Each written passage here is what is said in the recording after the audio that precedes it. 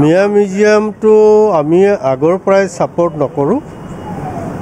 কাৰণ এইটো মিয়া মিউজিয়াম বুলি কোনো সিদ্ধান্ত হোৱা নাছিল। চৰ চাপৰি মিউজিয়াম বুলি এটা সিদ্ধান্ত আমাৰ ষ্টেণ্ডিং কমিটিত হৈছিলে। সেই কমিটিৰ মেম্বাৰ ময়ো আছিলোঁ আৰু সেই কমিটিখনত ময়ো আছিলোঁ। চেয়াৰমান আলী ডাঙৰীয়াই প্ৰস্তাৱটো উত্থাপন কৰিছিল। কিন্তু চৰ চাপৰি হিচাপে নট মিয়া মিয়া মিউজিয়াম গতিকে সেইটোত আনিনিমাছলি ডিচিশ্যন হৈছিলে। তাত বিজেপিৰ ছয়জন বিধায়ক মেম্বাৰ আছিল তেওঁলোকেও ছাপৰ্ট কৰিছিলে। আদাৰ্ছ পাৰ্টিৰ মেম্বাৰ আছিল তেওঁলোকেও ছাপৰ্ট কৰিছিল। আনিনিমাছ ডিচিশ্যন হৈছিল চৰ চাপৰিৰ কাৰণে মিউজিয়াম এটা আমাৰ কলাক্ষেত্ৰত ইষ্টাব্লিছ হ'ব লাগে। যেতিয়া জাতিটোৰ প্ৰতি ক'ৰবাত আঘাত আহে সংস্কৃতিৰ প্ৰতি আঘাত আহে তেতিয়া অন্তত অসমীয়া জাতিৰ প্ৰতিজন মানুহে মাত মাতা উচিত।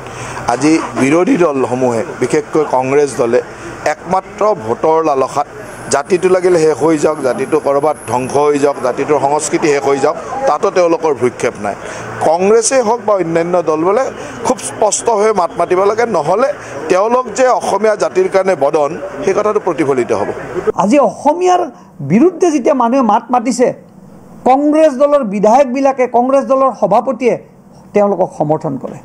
আৰু সময় হ'লে আমাক কয় আমি আৰু কংগ্ৰেছ বিজেপি আৰু ইউ ডি এফ বোলে বিজেপি আৰু ইউ ডি এফ বোলে আণ্ডাৰষ্টেণ্ডিংলি চলে।